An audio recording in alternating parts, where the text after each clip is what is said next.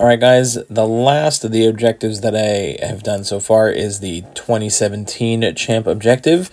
Uh, I did one run here with uh, Angela and uh, worked out really well. Again, nothing super special with Angela other than she was a high ranked 2017 champion.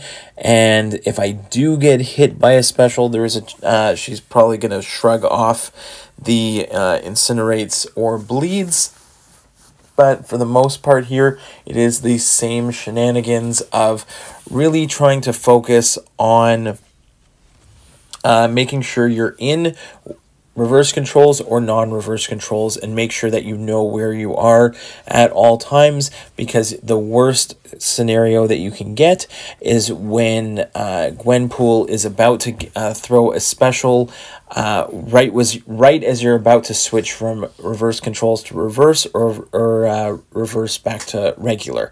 That's the main thing here. So I'm always trying to throw a special right as uh, I'm switching. So that as soon as that special ends, it gives me a chance to, you know, readjust and make sure that I know which, uh, you know, set of controls I am in at any given time.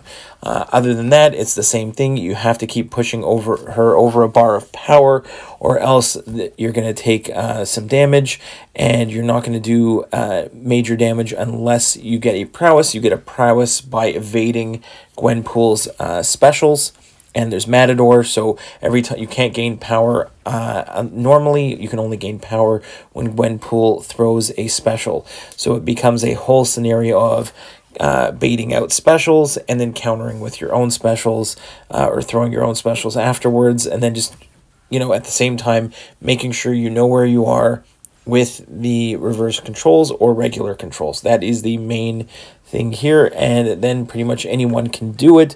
Uh, and that's what we did with here with uh, Angela. So I'm going to let the rest of the fight play out. If you have any other suggestions of who you used that worked really well for a 2017 champion, let me know in the comments. It always helps everybody out.